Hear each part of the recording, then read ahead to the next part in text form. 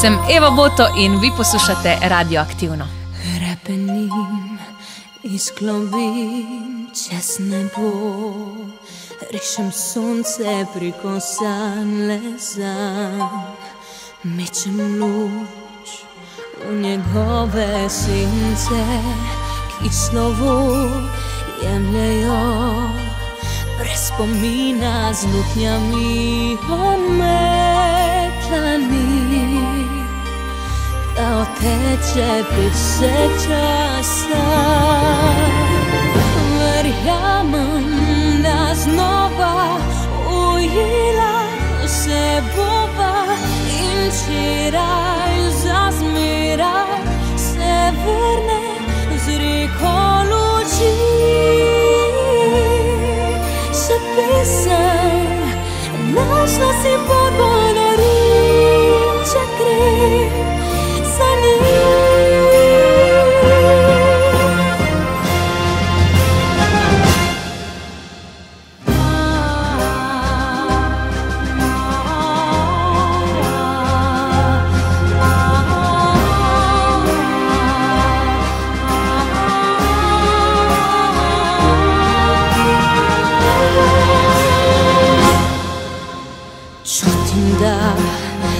do dna, nemi glas, pojem molu, vendar pa zavel mi ne bo. Veter beli zastal.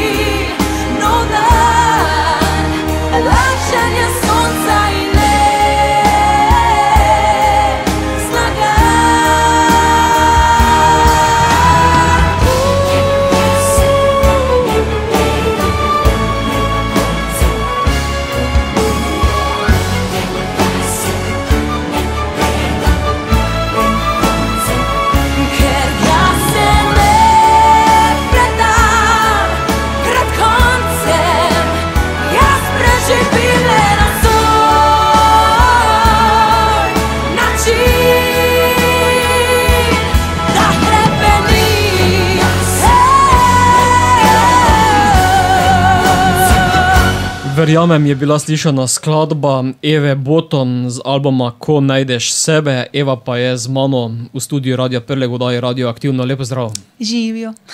Še vedno verjameš? O ja, jaz se že od 16 let, jaz sem pela pa verjela, tako da še zdaj to verjamem. Ja, Zelo dobro si verjela in pristala na Eurosongu. ja na predzadnjem mestu v polfinalu, super. To je bilo res fajn. Ja, mislim, to so bile moje otroške sanje, moram reči. Zato, ker uh, jaz že od malega, res odkar pomnim, odkar vem za sebe, spremljam Eurovizijo. In jaz se spomnim eno leto, pred da sem šla na Eurosong. Jaz sem z mamo smo gledali finalni del, ki je nastopala Maja Kevc. In jaz mami rečem, neč mama, vem pa naslednjo leto tam ne stala, ker svojih 15 letih sem jim to rekla, pa meni pa meni ona, kaj ti hočeš, da mene kap? A vse je bilo v redu, naslednje leto sem šla na Eurovizijo, mama je vse, vse je ok z njo. Je pa si bila na Eurosongu kot otrok, skoraj da. Ma ne da skoraj, da kot otrok, bila sem otrok, ja. ne 16 let sem bila stara. To je tista spodnja meja. Ja, dejansko. In moram priznati, da po moje bi mi bilo težje zdaj iti na Eurovizijo, kot takrat, ker takrat, ko si otrok, je zelo tako brezskrbno greš v neke stvari. Ne? Sploh se ne zavedaš, po moje se sploh ne zavedaš preveč, kako eno veliko odgovornost nosiš za sabo. Ne? Kaj ti ne na zadnje predstavljaš državo? Ja, ampak jaz sem takrat uživala, meni je bilo fajn, meni je bilo vseeno, malo sem potočila kako sozo, ker pač nismo šli v finale. Ampak ni mi bilo žal toliko finala, koliko mi je bilo žal tega, da ne morem še enkrat stati na odru. To pa tisti občutek, ki te publika gleda, to te gleda 20 tisoč ljudi v dvorani, preko ne vem, se ne vem, koliko to gleda, kar lepa številka. No. Na- Ogromno milijonov. Ogromno, ja, ogromno milijonov pač to gledalce in tisti občutek, sem ga tisti najbolj pogreša, da nisem mogla izkusiti tega še enkrat. Kaj ti Eurosong ni več samo Evropa, je tudi že Kitajska, Ja, ma, Avstralija. ja, ne. Avstralija, to je zdaj že svetovno, ne, da.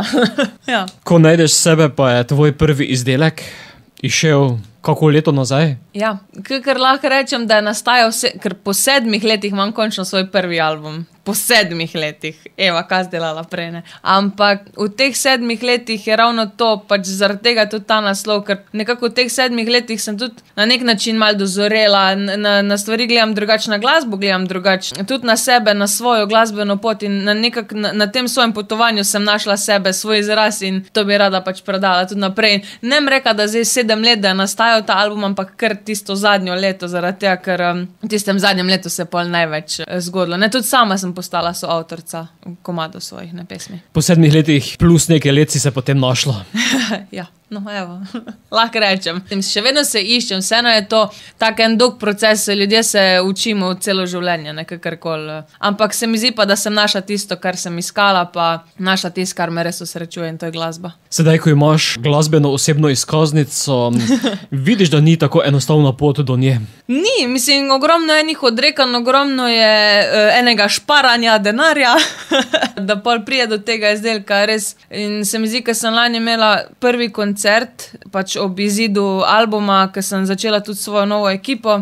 Je, se mi zdi, v tistih dveh urah koncerta mene obdalo toliko enih emocij. Tok, se mi zdi, da se mi je vseh teh sedem let garanja pa dela eh, zavrtelo v glavi v tistih dveh urah. In jaz sem bila čist, res emocionalno, bilo tako polno v dvorani, da noro, no, res nepozabno. Potem je tisti eh, nemi film se ti vrtel zelo Ja, hitro. ja, ja, ja, to, to, en, na nek tak način, to je bilo. Ja. Enostavno, ko se ti film zavrti, tistih sedem let se ti kar zavrti v glavi, ampak noro, no, noro občutek. Druga bo m, Dvigni mi krilo. Ja, uh, ja, to je bilo pa najboljš, ne, ker verjamem, sem zapela na Eurosongu in pol prijem z Eurosonga domov, evo, čakajte melodije, more in sonca, pet na melodije, ne pet nazaj. In moram priznati, da je bilo težje. Pet pač pred domačo publiko, prid nazaj pa v auditorij, ko pa pač pred množico, ker res, ki je pač tujina, kakorkoli, je bilo teže. No. Takrat sem sicer bila druga, sem pa dobila um, nagrado za debitantko leta, tisto nehvaležno drugo mesto, sam vseeno, ne, ker je bila Nuša Drenda prva, jo prostim, ker je ona moja vzornica.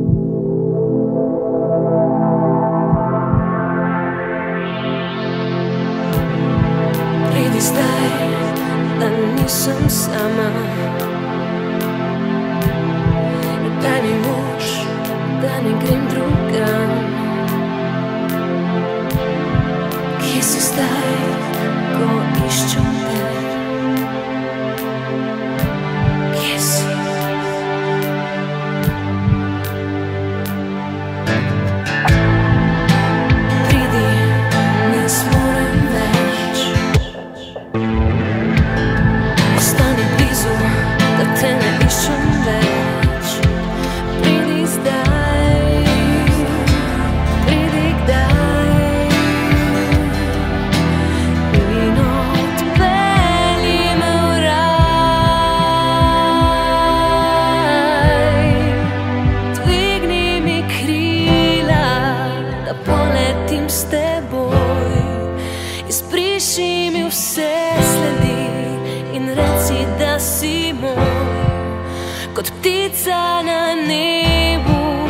svobodo deli. Kamor ozrem se,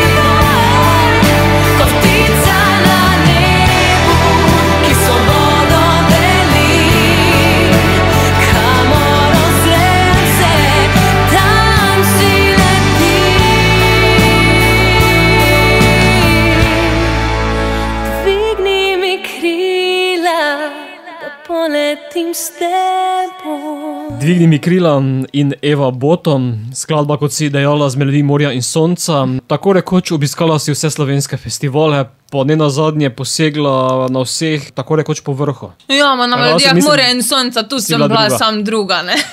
Ostalo pa, ja, mislim, da imamo vse, ne. Škoda, ker nimamo v Sloveniji malo več tega. Kak festival več, bom rekla, no. Pa ne govorim za sebe, mogoče tudi za mlajše generacije, za ostale, ne, da, da bi dobivali tudi uh, mlajši malo več izkušenj z nastopanjem, pa tem ne, mogoče kakšna tudi oddaja malo več. To malo pogrešam, no, da bi bilo malo več tega tu pri nas. Se pričela si že na otroških festivalih, če se spomniš Mhm. eh, otroške fans, najstniške fans. Ja, to so bila leta. Ne, ne um, definitivno ne spravim, da vsi pač mladi, ki se podajo na to pot, jaz spravim, da čim več izkušenj, ko dobiš, boljši je. Ker jaz vem, da takrat, ko sem šla potem na televizijo, 2011, ko se je začela misija Eurovizija, ko se je pač izbiral tisti, ki nas bo pač predstavljal na Eurosongu, jaz vem, da meni bilo mogoče dosti lažje že nastopati pred publiko, kamero, kakorkoli zaradi vseh teh izkušenj že prej. Ne, tako da definitivno nisem bila nova, vse na nek način čist vržena v svet glasbe. Ne. Se ne na zadnje misija Evrovizija te je kalila. Veliko nastopov, ja. veliko je trebalo vokalno pokazati. Ja, mis, to je trajalo skoraj pol leta, ne morem priznati. To smo, mi smo začeli s septembrom ali oktobrom, to se je vse vleklo, to je, to je bilo do februarja, pa, sem ni tako še zmagala, to se je vse vleklo potem do junija. Ne. Ampak se mi zdi, da sem kar bila v enem takem oblačku, takem mehurčku, se mi zdi, da se sploh nisem imela nekega občutka, kaj se, se dogaja okrog mene. No. Sem se res fokusirala na vse te stvari, ki so me, ki sem jih imela pač pred sabo. Potem je tukaj še popevka, ki ti prav tako leži. Ja. Ali si sama, ali pa nisi sama na odru. No, to, eno ali pa drugo, vse druge izbire ni. Ne, ne ma, tudi popevka pač je bila na moji wish listi, moram reči. Ne. Zelo sem si želela, mislim, zelo imam rada slovenske popevke. Uh, in jaz takrat, ko sem se hodila prijaviti na slovensko popevko, meni je Matjaž Vlačič rekel: Ej, manj komate en za tebe. Ne? In sem rekel: V redu, de, da ga slišim. In sem šla v studio, super melodija mi je bila. Top, nekaj tak, on je res specialist za te stvari. In sem rekel, v redu, ne pač kako pa besedilo, ma ne, ne, ne, dej, dej, bova mi dva že zrihtala. Pa jaz mu rečem, dej, da zvadim, ker res nimam rada, da prijem v studio, pa ne znam besedila. In je meni to grozno, ker bi rada se pač, čez bi rada padla v komat in zapela in, od, in pač odsnemala, glavnem, posnela pesem. In mi reče, ne, ne, ne, ne, ne, ti se sam nauč melodijo, na, na, na, na, prid v studio, jaz ti bom dal pa v studio besedilo, pa ste, pač ti nisi normalen. In rečem, ok, pridem v studio in mi on pokaže besedilo, ki ga je napisala njegova žena Urša. In jaz sem se sam zjokala, jaz sem se v prvi kitici zjokala in sem rekla, ok, to je to, s tem komadom je šla zmagati. Grem. In sem šla in sem prišla in pobrala in šla. Tek, tekle nekako je bilo. Uh, res, ker ta, ta pesem je pa ena, men, ena izmed lepših, ma ne zato, ker je moja, ampak ena res izmed lepših slovenskih popevk. No. Delaš po principu, pridem, vidim, zmagam. Ja, ne vem, mislim, ne, se ni tako. Ampak je pa fajn, je pa fajn občutek, ker lahko z nečim takim, pač z, z nekim takim izdelkom pokažeš res. Da vidiš, kak je tudi odziv. In meni takrat vem res, ker je tudi vodila popevko takrat Bernarda, žanr, ne. Pa je Prišla po mojem nastopu in se cela zjokala in reče, Eva, ti nisi normalna, kako je to lep, ko imaš, nuka, vem, vem. Res, Matjaš pa Ursa sta se res potrudila, no. Te bomo videli še na kakšnem festivalu, ko bodo zopet, če bodo. Čez dve leti je obletnica, deseta obletnica Eurovizije, mogoče pa na Emi, ne? ne, ne vem, ne vem, za zdaj je enostavno. Se pravi, premankuje tega. Ali imaš Emo na razpolago, ljudje Mure in Sonca, ali pa pač uh, Popevka. popevka. Ne? In bi fajn bilo, da bi bilo še kaj noga. Se strinjam. Ja. Za promocijo slovenske Ja. glasbe. To leto bo moje skupaj z Janom Plestenjakom. Ja, tisto dva, leto 2012 je bilo polno vsega, ne? Eurovizija, pa ljudje Mure in Sonca, dobila sem tudi povabilo od Jana Plestenjaka, da narediva duet. A, mislim, da je tega bila najbolj vesela moja mama, bolj kot jaz. Tega- Le zakaj? E, ma, z, ja, ne. Zakaj le? Ne, fulje, res je velika fenica od njega. Se jaz tudi, ampak pač ne, katera mama pa ni. In uh, ja, so posnela pol tole pesem, se je res zelo prijela. No, tako da že zdaj, tudi ko jo zapojem na koncertih, jo ljudje zelo, zelo radi pojejo zraven. Vem,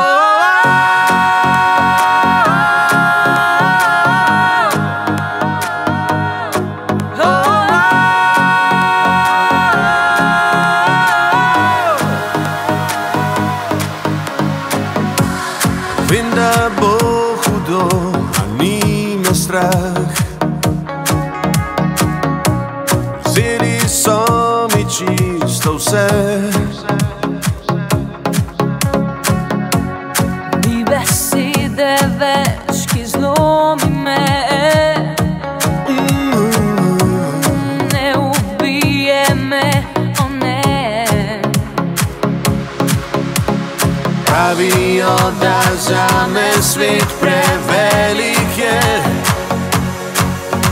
Pa ne bojim se, ne poznajo me. Oh, oh. To leto bo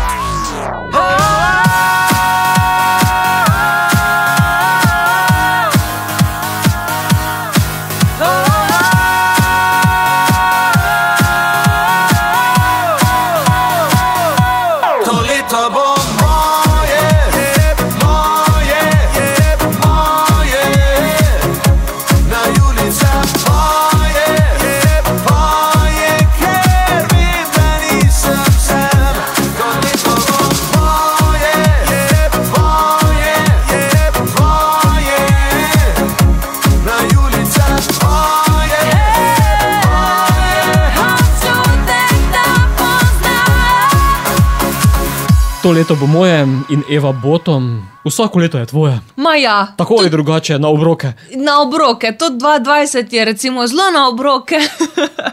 Ampak ja, mislim, kakorkoli, sploh tole leto, jaz bi, jaz bi res rada videla, da bi bilo to leto od čisto vsega, kakorkoli. Čeprav je ta korona, pa vsi ti ukrepi, karantena je bila, skratka, ni da nikaj ni bilo. Ne. Jaz pravim, da iz vsakih takih stvari se da potegniti, da res veliko tudi pozitivnega. Kakorkoli obrneš, nekaj dobrega se da izvleči iz tega. Tudi jaz sama vidim, recimo, zelo veliko sem se letos pač tudi bolj posvetila sami sebi, pa ustvarjanju, magistrski nalogi, skratka, sla nekaj slabega je tudi za nekaj dobrega. No. Kakor to vzameš, jaz pravim. Še na dopust greš in imaš eh, kopico Ja, knjig pa zraven. vi- To gledam na tvojih objavah, vidim eh, PR sporočilo, Eva Boto dopust in eh, 17 knjig zraven. Ampak res to je bilo grozno, mislim, ne ni bilo grozno, ampak je bilo smešno, zato ker sem rekel, ok, res je, res je bilo naporno, znan obraz ima svoj glas, štiri mesece smo garali, januarja sem rekel, grem jaz za dva tedna na dopust in res sem rabila ene štiri dni, da sem prišla k sebi, ker jaz nisem bila navajena, da sem primeru in jaz sem mogla vsaj nekaj narediti, mal, da, da zaposlim svoje možgane. Teda tiste knjige so bile čisto ok. Pa je takrat nastala diploma. Ne, takrat je nastala magistrska, ki nastaja še zdaj. Tako da do konca leta jo moram dokončati, pa, pa da zaključimo še to zgodbo. Je tema zahtevna? Ja, eh, se, ravno to se sprašujem zdaj že par dni, oziroma si govorim, da ne vem, kam mi ni bilo jasno, da sem si izbrala tako težko temo. Je pa zelo zanimiva, ker eh, se tiče tudi malo glasbe, ker pišemo o dejavnikih, ki vplivajo na razvoj pevskega talenta. Zanimivo. Ampak ja, nora sem, pustimo. Prej si omenjala letošnje leto, ampak kljub temu je nekaj odrov bilo videti, da si jih osvojila, tako na prostem. Ja, moram priznati, da sem tu pa zelo hvaležna za svojo ekipo, za, za to, da smo res poskrbeli, da imamo tu čim več nastopov, kljub temu, da, da so ukrepi, da ni ravno najboljši čas, no, da smo si lahko prvošli tudi par takih eh, koncertov. In uh, tudi zdaj jeseni v bistvu ne, gremo v kulturne domove. Po eni strani je zelo rizično, po drugi strani, mislim, rizično v smislu, res število mest je res omejeno, ampak jaz verjamem, da ljudje, jaz verjamem, ljudje rabijo glasbo, pa ne samo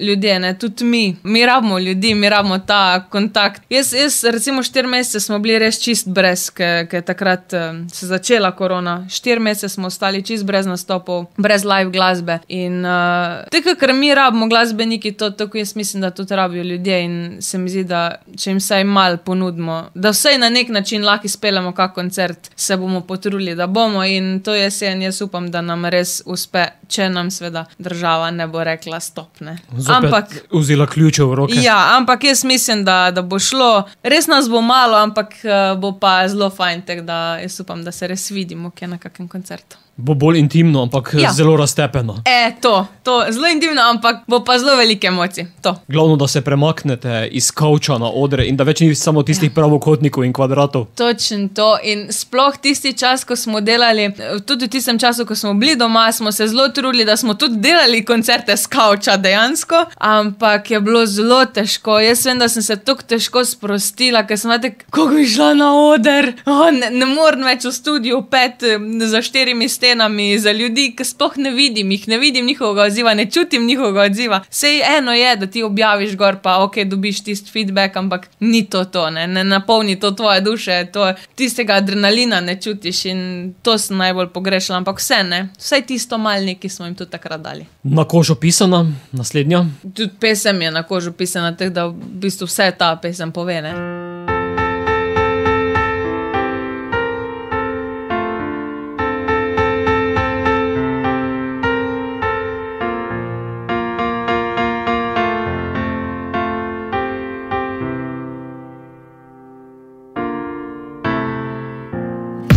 Tih večer v sobi luč gori, to počaj v mrzli posteli. Mislim si, tako se pač zgodi.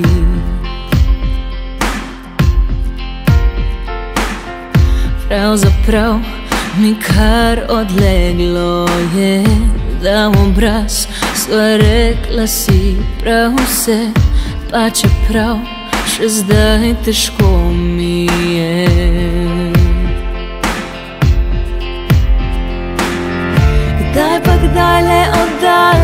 oddaleč gledam te in si mislim, povej, kako ti je. S čiste trme pa ne pokličem te. Vem, da marsikdaj bi te obila, vem, da marsikaj bi si želela še, da te pod prsti nosim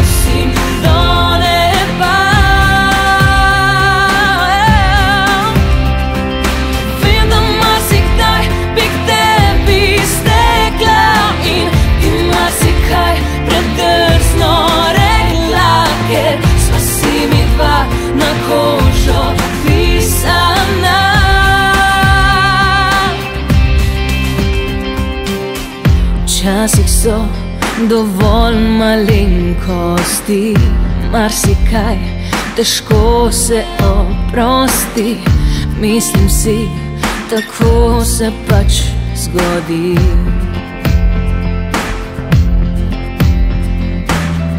Kdaj pa kdaj le oddaleč gledam te in si mislim, povej, kako ti je, s čiste trme pa ne pokličem.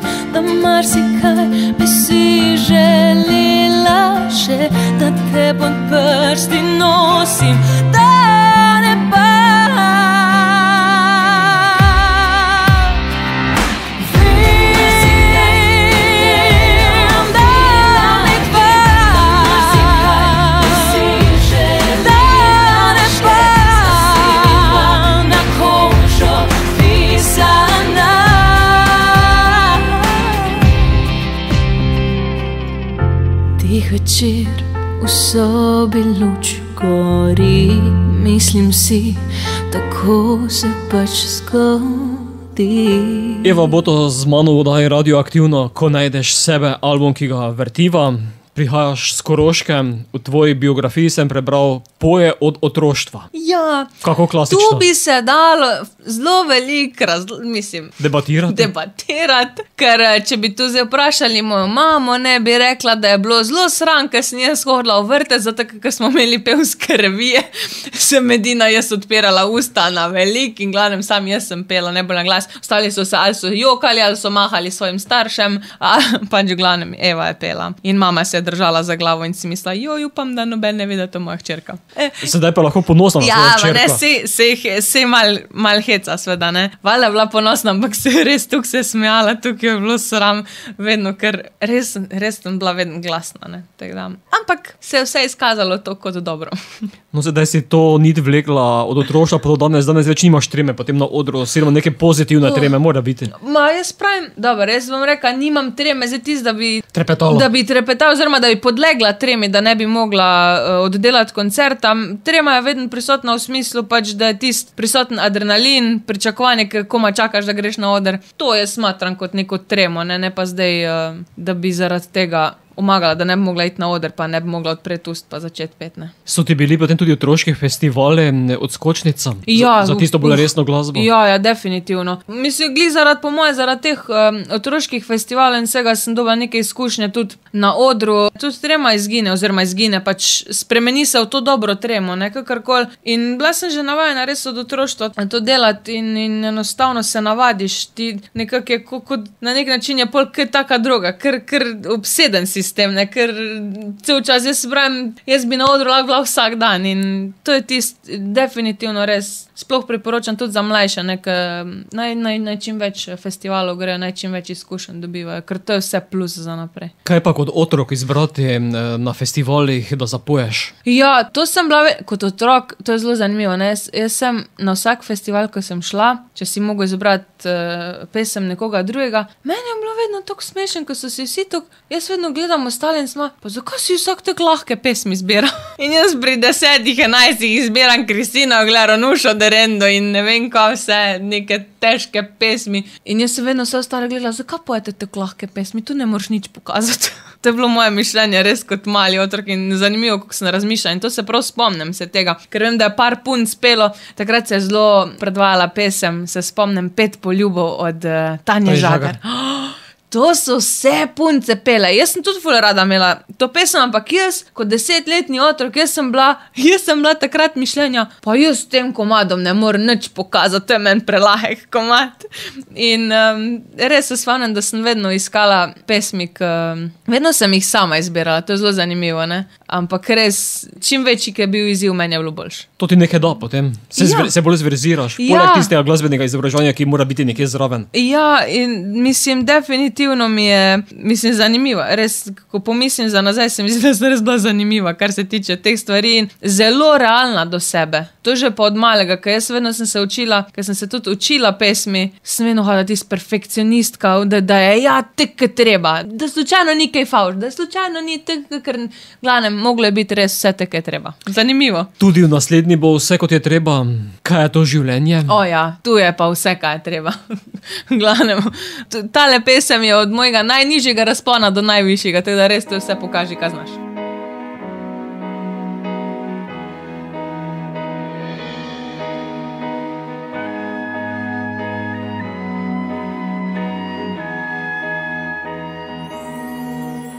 Vsak se komu da, rodi srečo ga mladost obsije, a pride čas na smeh se pogreni, upanje za hip mu skrije le kdo ve, kaj je to življenje. Sreča, ki zdrži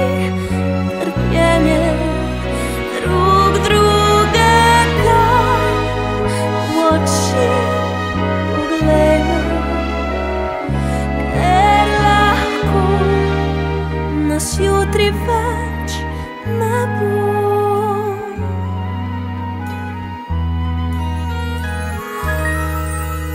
Vsi ljudje hitimo le, kot da se več ne poznamo, radi imeli bi prav vse,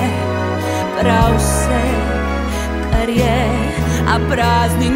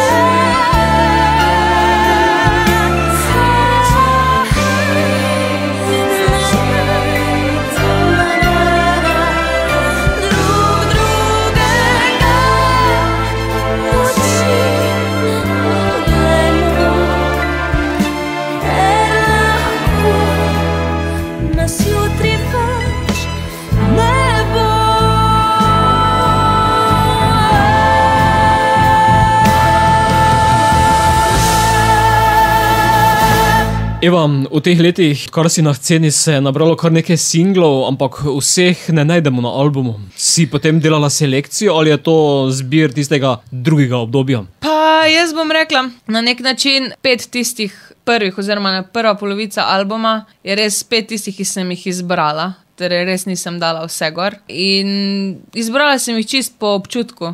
Tisti, ki mi res veliko pomenijo, ki lahko neko večjo zgodbo pač povejo. Druga polovica pa je sestavljena iz pesmi, ki so nastale pa v tistem enem letu, ko sem rekla, da v tistem enem letu, da je nastal ta album. Zato, ker jaz sem šla do Žana Serčiča, do mojega dobrega kolega, ki je tudi producent, in smo mogla pač, smo se zmenila, da bomo posnela en duet, oziroma eno priredbo. In on meni, preden da začnemo priredbo snemati, vzame kitaro in mi jo da, ne, in reče, da mi zaigra nekaj svojega. Šti, kaj? Veš kaj, pravi. Jaz ne verjamem, da ti kot glasbenica, kot pevka, da nič doma ne ustvariš, pokaži mi nekaj svojega.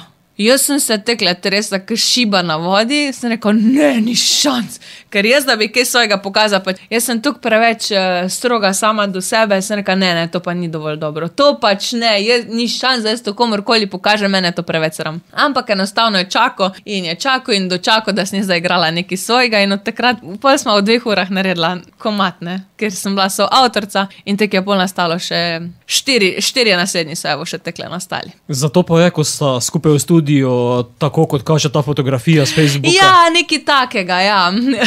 Čeprav ima, ti bom rekla, da zna biti včasih še bolj uh, mal naporno, smešno, ampak je full fajn. Tako da. Mešanca vsega, mešano na žaru, bom rekla. Je Žan zahteven v studiu? O ja. Ampak to Prav je tako. Ampak je prav tek. Ne, prav je prav, prav zato ker res, ker je on dozorel kot glasbenik, kot oseba, kot mentor, tudi meni, to je neverjetno. Ne? In res ima tukaj enega znanja, da mu res pač zaupam maksimalno. Ne? Poleg tega, da poješ eh, solo, kdaj pa kdaj tudi zapoješ v duetu, ti je to izziv? Mojo, mislim. Plestenjaka smo že slišali. Plestenja, ja, plesenjak, pa tudi Žanom sem že v bistvu dosti stvari posnela, tudi že pri 15 letih, eh, silvestrski poljub, priredbo. Drugače pa ja, pa tudi z Gašperjem Riflom sva sodelovala. V bistvu na slovenski popevki lani, pa tudi na melodijah Mare in Sonca 2015. Tudi za meni je, meni v duetih vedno fajn pet, sploh, sploh če je oseba taka, ki mi je pri srcu, kot da ima tudi fajn energijo. In uh, ja, bi, bi pa še definitivno kak duet posnela s kom. No. Ali pa mogoče prihaja futuring.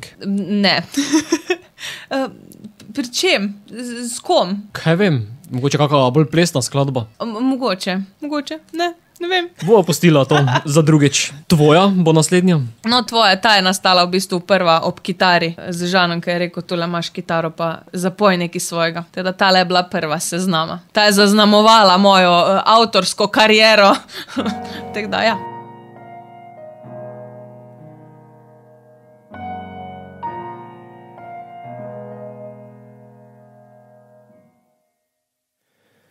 Spet sem tu, kjer si me želiš. Spet sem za te to, kar vidiš ti. Zakaj ne vidiš to, kar vidim jaz? Zakaj še vedno zdi se, da sem tam? Vsakič, ko pogledaš me, zate sem edina, le mi praviš. Vsakič, ko začutim te, ko daš mi novo upanje, znova izgubim se in ti pravim, da sem tvoja. Tvoja, da sem tvoja. In ko sama več ne znam, mi dovolj je, da sem tam, spet sem tvoja. Mm, spet sem tvoja. Kdo postala sem, ne vem, ne znam. V ogledalu se ne prepoznam. Zdavim se besede so odveč. Zdaj vem, da zaslužim si več. V Meni vidiš sebe, spet sem kriva za vse, da žal ti je za vsak trenutek z mano praviš. V tebi vidim vse, kar rabim, strah me je, da spet pozabim, kako je biti ljubljena in pravim, še sem tvoja.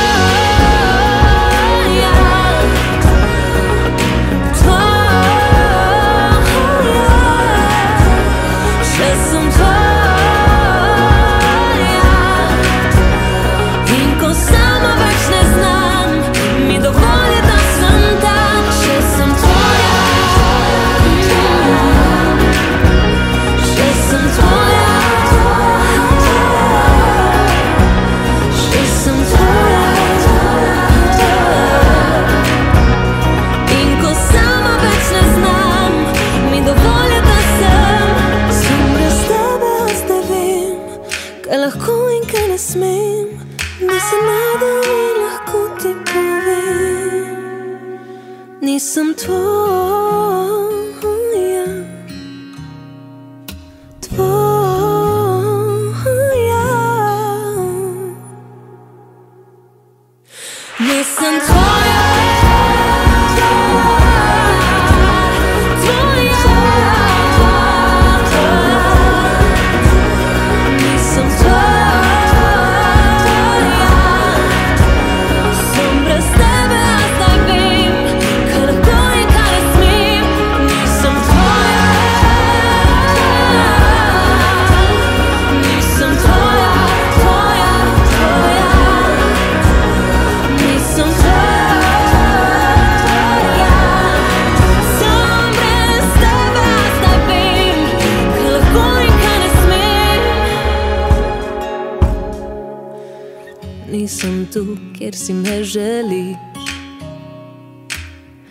Nisem zato to, kar vidiš ti. Eva Boto, ko najdeš sebe, je album, ki ga danes eh, vrtimo. Deset pesmi si pripravila, A bi jih še več? lahko. Zdaj nastajajo nove, ne? tako da um, v prihodnje, prej pa ne morem, žal. Prej si že omenjala različne avtorje, ti je izziv delati z različnimi. Um, v bistvu skozi obdobja, oziroma skozi ta leta sem delala že s parimi producenti, s parimi avtorji. Pa moram priznati, da mi je do zdaj tako, pač, recimo z Matjažem Lašičem je bilo super delati, sploh pa Žanom zdaj, ne, ker res super sodelujemo. Sploh zato, ker uh, se ujameva sploh v teh idejah. Uh, jaz dam idejo, on da idejo, pol skupaj snameva. In mi je res super, res delati z njim. No. Nisem človek, ki bi zaprla nek, zapirala neka vrata. Z, bom rekla, vedno sem pripravljena na različne izzive, na različne, recimo, tudi, na različna sodelovanja. bom rekla. Teda vedno, sem, uh, vedno pustim odprto glavo, oziroma odprte ideje, kak in kaj naprej. No. Tu se nikoli ne zaklepam. Se še sedaj treseš, eh, ko je treba prinesti avtorsko skladbo v studio? Ne, ne, se to, na, to je najbolj smešno. Zdaj sem kar, hej, žan, jaz sem full novih idej, ti lahko pokažem. In pol on meni. "A, To se je pa nekaj malo spremenilo od leta 2018, se ti ne zdi. Ampak ja, vse to je ravno to, ne, o čem govori, ko najdeš sebe. To je tisto, ki. Jaz bom temu rekla odraščanje. No. Učiš se, učiš se, dozorevaš in to je ta proces, ko v bistvu največ šteje na koncu koncev. No. Ta proces učenja, znanja, ki ga pridobivaš skozi leta in pol, ko res vidiš, ko pogledaš za nazaj, koliko enih novih stvari si pridobil, koliko enih novih ljudi si spoznal, koliko enega novega znanja si res pridobil v vsem tem času. Ne. In to meni najbolj všeč. Vse na koncu, ok, dosežeš tisti cilj, ki si si ga zadal, ampak ta ves proces, ko je od zadaj, je, je to eno lepo potovanje, da z sponi, paci, z vsem, ampak je zelo fajno. Slika se je sedaj obrnila. Najprej je on, eh, Žan, priganjal tebe, sedaj ti njega. O ja, ja, ravno danes smo se slišali, sem rekel, kdaj boš dokončal tisto idejo, kdaj boš, kdaj bova, kdaj greva v studio. Je kar fajno. Da, fajn, je, k, fajn je tudi, ko najdeš ljudi okrog sebe, ki so ti pripravljeni pomagati, ko, ko te začutijo tudi kot osebo, kot, eh, kot glasbenico, kakorkoli, da se lahko res povežeš s pravo ekipo. Ne? In tudi tu sem vesela, da tudi moja ekipa, tudi, da sem se našla s svojim bendom, s katerimi zdaj res delamo, s celotno mojo ekipo in tu smo se tudi fajn povezali. In se pravim, ker si obdan s pravimi ljudmi, je tudi to lažje, pa tu lepš delati. Besedila ti delajo kaj preglavec? Ja. Pa to ponavadi prepuščam drugim, oziroma ponavadi, ko pride do neke ideje pri glasbi, se mi nekako ustvari tudi ideja o zgodbi, o čem bi naj pač pesem govorila, ampak vedno to pol prepustim nekomu drugemu. Oziroma v tem primeru pač Žanu. Naprimer. Sedma po vrsti bo zavedno. Ja, Ma, kaj naj sploh rečem, mislim, vsak ta komat mi je, vsi ti, sploh teh pet zadnjih, ne, so mi zelo osebni, po drugi strani pa se lahko vsak najde v, v besedilih, v komadu in to meni tudi največ pomeni, ne, da lahko vsak prezrcali svojo zgodbo pač v, v vsako pesem. In recimo tudi prej, ko smo poslušali komat Tvoja, govori o moji zelo dobri prijateljici, pač z moji res dobri frendici. Zgodba o njej, o njeni ljubezenski zgodbi. In pol vidiš po drugi strani, ki ti začnejo ljudje pisati svoje zgodbe v odzivih. Naprimer, ker sem imela feedbacke, ko so mi začeli gledati, jaz sem se isto počutil v svoji službi, tako ker se je naprimer moja kolegica v tej ljubezenski zvezi. Ne? Pa mi reče, druga spet pride zgodbo, ki je imela podobno zgodbo, ampak na faksu, ne? pač s študijem, pa s svojimi starši. In to je meni nekaj najlepšega, ne? ker lahko vsak komat, ki ga v bistvu ti zelo osebno jemliš, pa imaš recimo lahko zadnji zelo eno tako osebno zgodbo, ko pol vidiš pri odzivih ljudi, kako oni najdejo same sebe v teh komadih, ampak na čist drug način, čist druga zgodba. In To je nekaj najlepšega, kar lahko doživiš kot pevec, kot glasbenik. In to je meni najbolj važno, ne, da dam ljudem tisto, s čimer se lahko oni pač poistovetijo. Skladba je dobila tudi remix. Ja, v bistvu lansko leto, točno lani, ne, sem jaz začela s preobrazbami v oddaji Znano obraz ima svoj glas. Leto smo pa malo spremenili, smo rekli, ok, naj pa moj komat doživi preobrazbo in smo v bistvu dodali remix, da nekako tudi radijske postaje mogoče malo bolj zagrabijo tele pesem, tako bom rekla. Pa da lahko ljudje malo, malo bolj zaplešejo zraven. Zavrtiva recimo. obe različici zavedno in še remix, eno Lahko, za drugo. Kamot, kamot. Jo, dej. Vsak od nas je že padel, mislil je, da ne gre več naprej. Dvigneš glavo in znova vrneš se, močnejši kot prej. Vsak od nas se iskal je, ko v sebi našel ni dovolj. Vse, kar šteje, je to, da v sebi najdeš pot. Znova zdi se ti, da težko je. Takrat se spomni, nisi sam. Ustavi se vsaj za trenutek. Vzemi občutek, ki ga imam. Vdihni svet zrak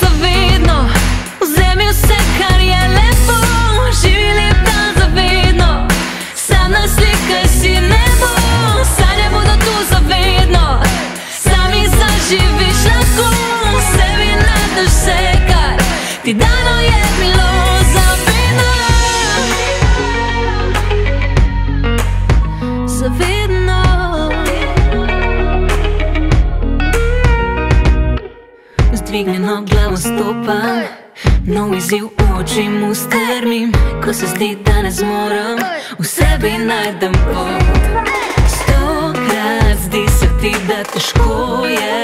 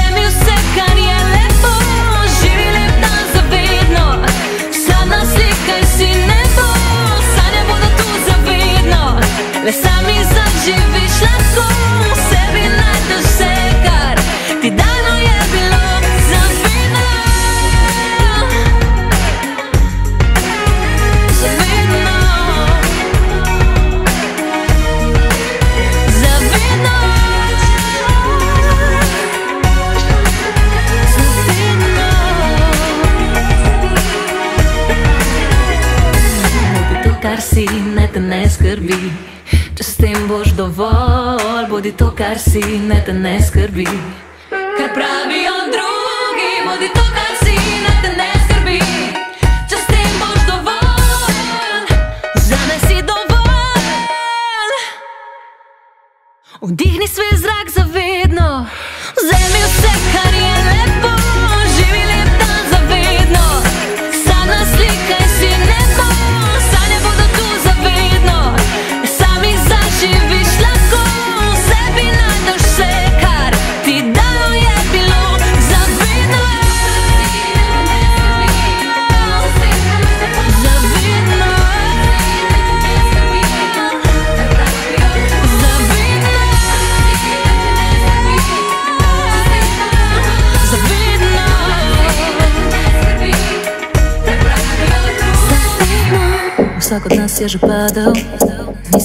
ne gre več naprej. Dvigneš glavo in znova, vrneš se močnejši kot prej. Vsak od nas se iskal je, ko v sebi našel ni dobro. Sem Eva Boto in vi poslušate radioaktivno.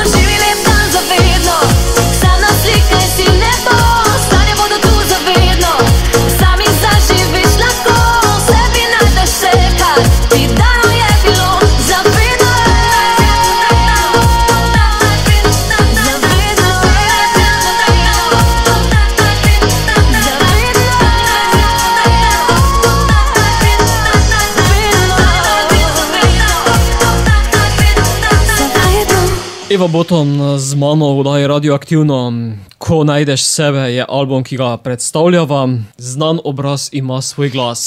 Še enkrat bi šla. In zopet tukaj je zmagovalka. Ja, evo, se, kak, se, se tikava, ne? Okay. Tega, kar si rekel prej, ne? Pride, pobere, pa gre, ne? Te glasnoči, ne, se jojem, da ne bo kdo mislil, da se jaz ful hvalim, da je tu. Ampak znano obraz ima svoj glas, to je bila pa res oddaja, ker sem se res tako uživala. Mislim, uživala, ful smo se nagarali, cela ekipa, res smo delali, k norci bom rekla. Štiri mesece je bilo res enega velikega garanja, ampak se je tako obrestovalo. Jaz, jaz pravim, jaz res vsak teden sem tako uživala, vsaki, dobro, kaki preobrazi malo manj, kaki preobrazi malo bolj, ampak tudi ekipa je bila tako super, da ne vem, se pravim, jaz, če bi mi še enkrat rekli, a greš še enkrat v to, ej, takoj. Takoj. Mislim, da si se ne bolj živela v čaleta saleta. Ja, ma to vsak reče, jo. Sam jaz sem takrat imela res fuj treme. Zato, ker sem vedela, da je on četrti žirant in sploh, ko imitiraš nekoga, ki je nasprotnega spola.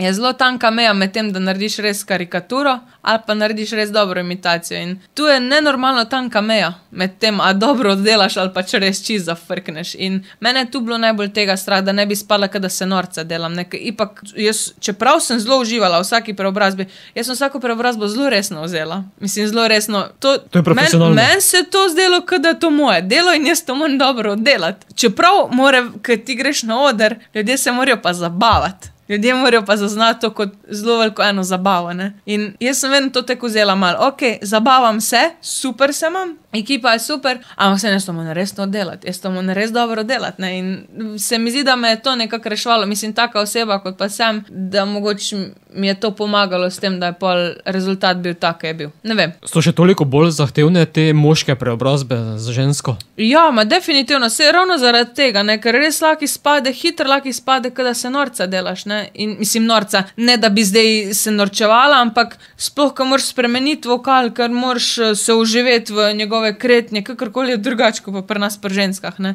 In je res zelo težko. Tu je, na primer, imela zelo težko nalogo Maja, Odrlapova, ki je imela res zelo veliko pač moških imitacij, ki jih je vrhunsko oddelala, ampak so nekako bile vsa časne, jaz ne vem, če bi lahko toliko moških preobraz imela. Ne. Ampak, evo, to je dobro in mislim, res vsak zase, jaz moram reči, da res smo se vsi ful potrudili. No. Uh, in jaz mislim, da tudi ljudje so to zaznali, da so zelo uživali ob naših preobrazbah. Kaj pa, ko dobiš eh, neko skladbo, ki ti ni najbolj pri srcu, pa ti ni všeč? Ja, vse to se je zgodilo parkrat, mislim pač, valjda, priznam, ne, ker se je meni zdelo, joj, zak- zakaj to ne, mislim, ko bi res kaj drugega imela, ker mogoče bi zelo pač veliko boljš oddelala. Se je zgodilo to ene parkrat, no, ampak se moraš pa tu na neki točki pač zavedati, da je to tvoje delo, da to pač ok, niso vse imitacije perfektne, niso vse zdaj imitacije ti na kožo pisane. In uh, tu pa pol pride do tistega, a boš zdaj to sprejel, pa užival, ali se boš pač zafrustriral, pa padel v depresijo in bil zatežen. In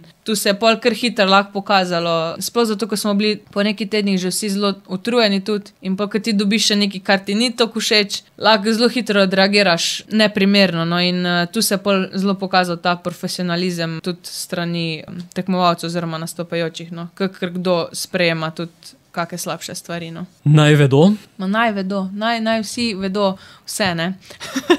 To zveni že bolj rumeno. ne, ne, ne, naj vedo. Za tole pesem sem jaz dobila idejo v avtu. In to je neprecenljivo. Jaz, se- jaz sem, prisežem, jaz se najraje vozim v tišini. Ker se vozim kamorkoli, jaz se ra- najraje vozim v tišini in takrat meni, jaz imam v avtu čas. To je čas, ki ga imam za sebe. In takrat največ pesmi, največ idej tudi nastane, in pa navad imam kar vklopljen snemalnik zvoka, non-stop, sploh, da sploh ne vem, da ga imam vklopljenega in jaz enostavno pol ponavad kaj mrmram in tek je nastala tale pesem. Evo, točno tekle. Na mute radio. Naj vsi vedo, da ti po žilah teče kri in z njo naprej bo šel močno, da greš naprej, vsi naj vedo. Ko se trudiš, da dosegal, ni vse, kar pomeni ti največ. Ko ne najdeš več moči, da Pobereš se in greš naprej.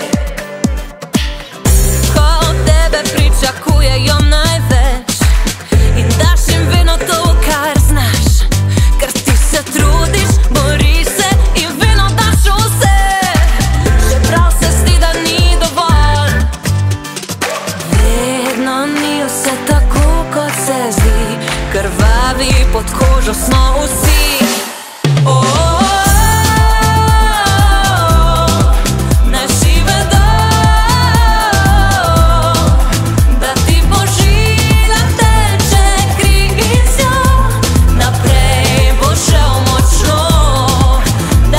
naprej, vsi naj vedo.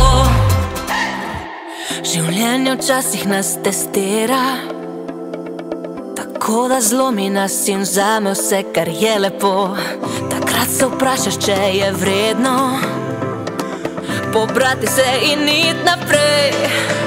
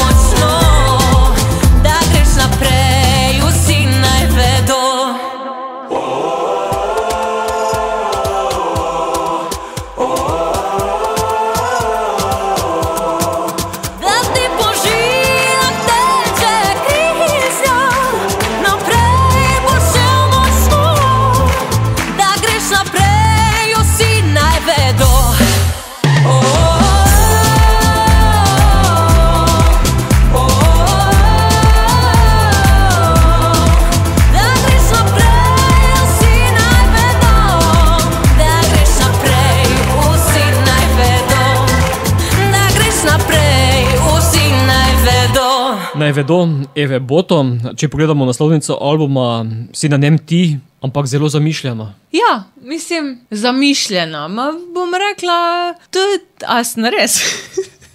Tako kaže.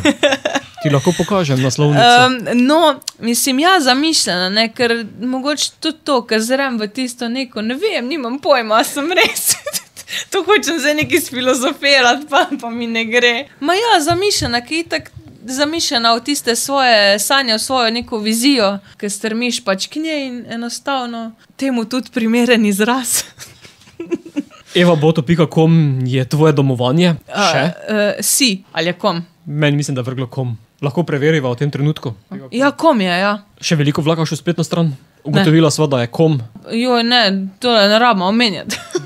Zato, ker uh, je glih v fazi te, da jo moramo pač izdelati, da bo zdaj proper, ker treba biti. Bolj pa aktivnosti na družabnih omrežjih. To pa ja, jaz mislim, da je to zdaj tisto, ta glavno. Čeprav jaz, če se ne bi ukvarjala, po mojem, z glasbo, jaz Instagrama, Facebooka, po mojem, to sploh ne bi imela. Ne vem, če bi, ker enostavno, ampak je pa res, po eni strani, ko bi mogli čim manj biti na, na teh socialnih omrežjih, so to socialna omrežja tudi super, ne? sploh za oglaševanja eh, koncertov, da, da ljudje vejo, kje se kaj dogaja, da lahko ljudem sporočim, delim z njimi informacije. Teda za te stvari so kar primerne. No? In jaz moram povedati, da sem tu zelo, kar na nek način ažurna, sploh na Facebooku, Instagramu. Teda tam največ to objavljam, oziroma ljudje pol vidijo, kaj se dogaja z mano. No, ne vse. Ne vejo vsega, zelo nerada delim neke zelo osebne stvari, da to vseeno imam neko mejo, kaj. Dokot lahko dat. greš. Tako. Ja. Se mi zdi, da tu je zelo, da pri večini kar ni meje, ne?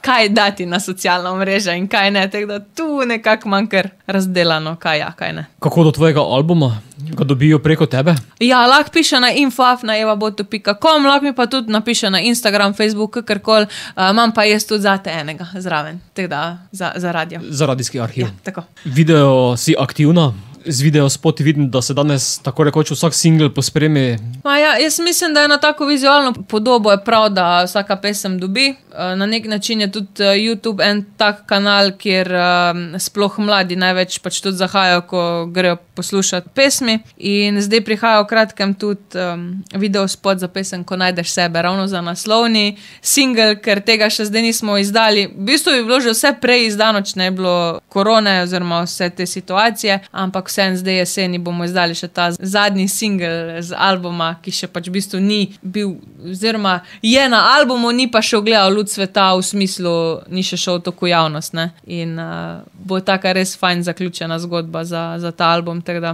po pa turneji oziroma naprej uh, s koncerti čim več. Album iz Uneje leto, eh, kako so ga poslušalci sprejeli? Jaz moram reči, da zelo lepo. Jaz verjamem, da če ne bi bilo te korona krize, bi bilo še boljš, ampak ne bom jamrala, glede na situacijo in vse. Moram priznati, da, da so ljudje res lepo sprejeli pač album. Tudi odzivi, ki sem videla pač od ljudi, da, da jim je pri srcu, da so ga vzeli za svojega. In jaz upam, da bo šlo zdaj sam še pač na vzgorne, tudi z ostalimi projekti. Če ne v fizični, potem pa v digitalni obliki na vseh teh glasbenih portalih. Ja, se mi zdi, da je sploh ta čas, zdaj, ko se fizično več ne kupujejo toliko pač fizično, oziroma ti albumi v fizični obliki, da je vse več šlo tudi na digitalne platforme, kar se mi zdi pa čist sprejemljivo, oziroma čist normalno, ker je vse šlo v ta digitalni svet. In um, kakorkoli ne, pa vseeno fajn imeti to, kot si prej rekel, to osebno izkaznico. Ne? Vseeno za me to predstavlja res to is osebno izkaznico, to, kar dejansko jaz počnem in kar je, kar je v bistvu nek rezultat trdega dela, pa en- ene ustrajnosti, pa, pa dela, no, pa energije. Lepo je živeti pred zadnjo. Jo, ta priznam je pa moja najljubša. ta je pa meni ena, mislim, res najljubša z albuma, moram priznati. In uh, mi smo jo izdali ravno v času, ko se je začela korona. In takrat smo v bistvu tuhtali, ali bi jo sploh izdali ali ne bi, ne? ravno zaradi vseh stvari, ker so, mediji so bili pač obdani res samo s tem, samo s korono. Tudi ljudje smo se mi zdi, da smo bili v tistem času, prva dva tedna, tri, čisto frustrirani s temi informacijami o korona krizi. Ampak mi smo vseeno izdali tisti eh, komat takrat in moram priznati, da govori pa ravno o tem, ne, ker takrat smo se vsi mogli malo staviti, malo pogledati na odnose tudi do drugih, oziroma več smo bili skupaj, več smo. Več časa smo preživeli s svojimi pač najbližjimi, in uh, ravno o tem pa govori moja pesem, ne, da, da ljudje malo premalo, da smo zelo površinski postali, ne, da odnosi več niso tako globoki, da se ne znamo tako več pogovarjati, da ne znamo več pogledati drug na drugega, ne, ker itak je tempo življenja od nas vseh sam, gremo, gremo, gremo, gremo, gremo ne, in ne znamo se ustaviti, in to je bil idealen čas, da se da mal se ustavimo, pa pogledamo okrog sebe. Ne, in da v bistvu je bilo kar v redu, komat za tisti čas.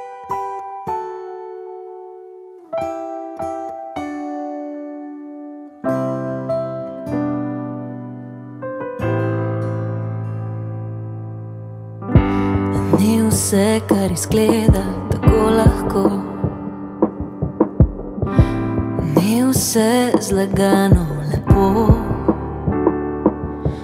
Iskrenost je vrednota, ki pozabljena v dobi je ljudi, ki so sami, čeprav obkroženi. Le mi dva veva, kaj med nama je. Dva najdeva svoj dom. In ko vse, prav vse se zruši, le ti ostaneš in ponudiš svojo dlan. Pa spet znajdem se v večnosti, vsega, kar bojim se, da izgubim, brez tebe izgubim. Koncu dneva kdo me bo objel, ko padala bom, kdo me bo ujel, ko bo hladno mi, kdo me bo ogrel in kdo z mano znova bo zletel, ko risala bom solze, kdo bo smeh, a to, kar iščem tvojih je očeh, res našla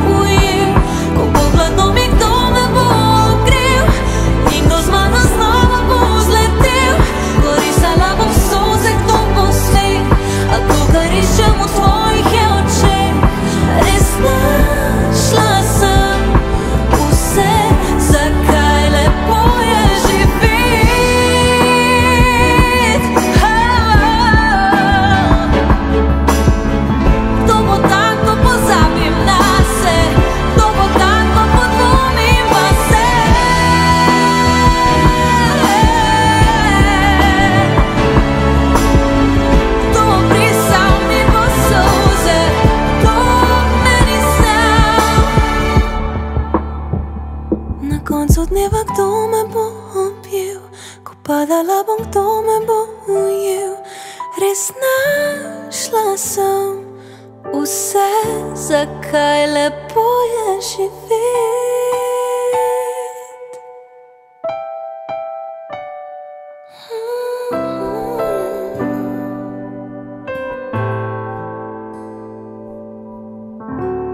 Lepo je živeti. Eva, za konec tega pogovora, kot te razumem, ne miruješ, pa žana srčiča preganjaš Jaz ne morem biti primeru.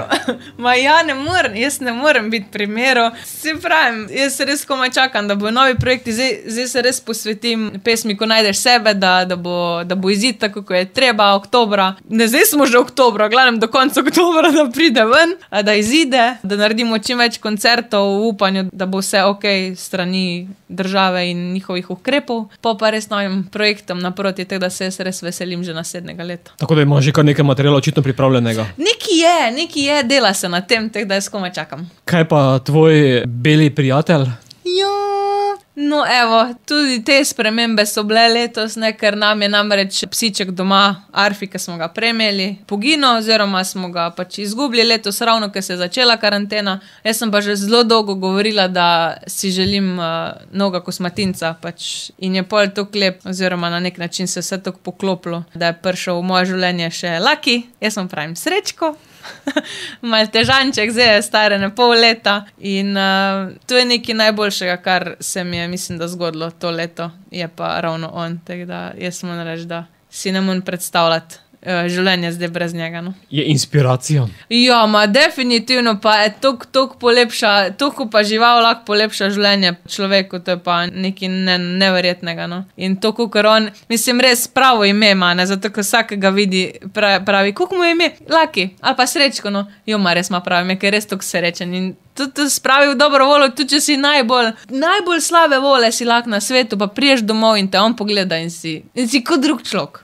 Za konec tega pogovora bova zavrtela še naslovno skladbo. Super, ko najdeš sebe. V bistvu povzela sva vse, ne? povedala sva vse. In zdaj je to sam še češnjica na vrh smetane, tale komat, ki zaokroži tole zgodbo. Evo. Upam, da so povedala vse. Ja, Če ne, pa bomo mislim, dobro, nas- jaz bi lahko še zdaj ful govorila, ne? To- jaz si tako preveč govorim, ampak jaz mislim, da smo lepo, eh, lepo zaokroženi. Kuma čakam, da izide ven, Evo, da, ga, da ga ljudje še slišijo, vidijo tudi v vizualni podobi. Ko najdeš sebe za konec, Eva Boto, hvala, da si bila gostja oddaje radioaktivno ter uspešno in čim bolj delovno naprej. Hvala lepa.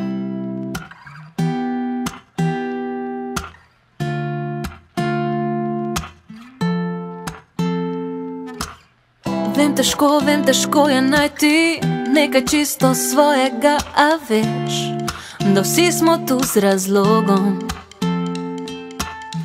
Vem težko, vem težko je biti samo svoj, ko okrožajo nas isti ideali, ki pripeljejo do cilja.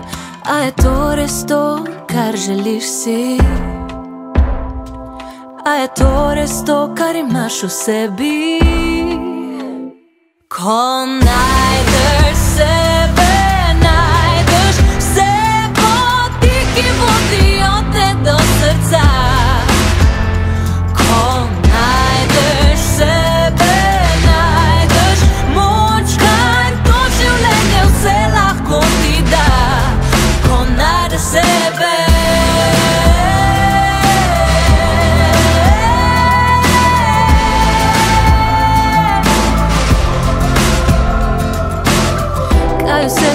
tiste stvari, ki kalijo podobo nam in kdo? Iskren dovolj, da to pove. Daleč proč od glamurja in blišča je odgovor na vprašanje, kdo sploh sem. A je to res to, kar želim si? A je to res vse, kar imam v sebi?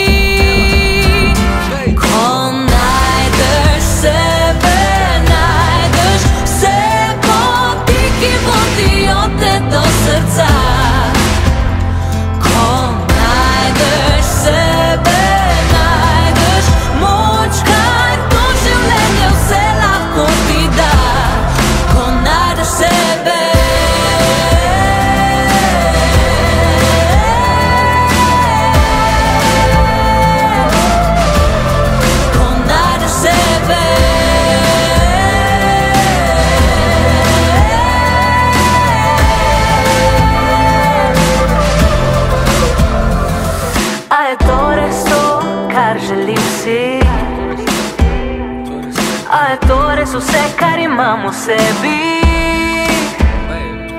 A je to res to, kar želiš si? A je to res to, kar imaš v sebi?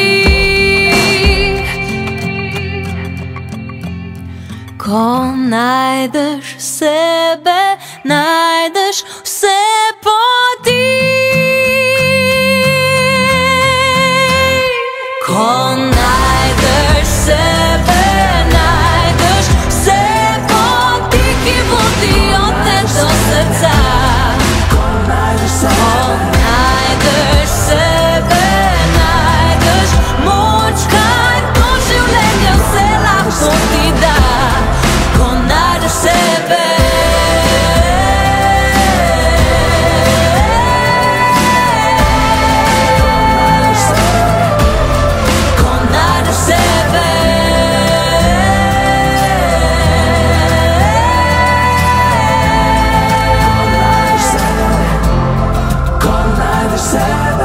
Sem Eva Boto in vi poslušate radioaktivno.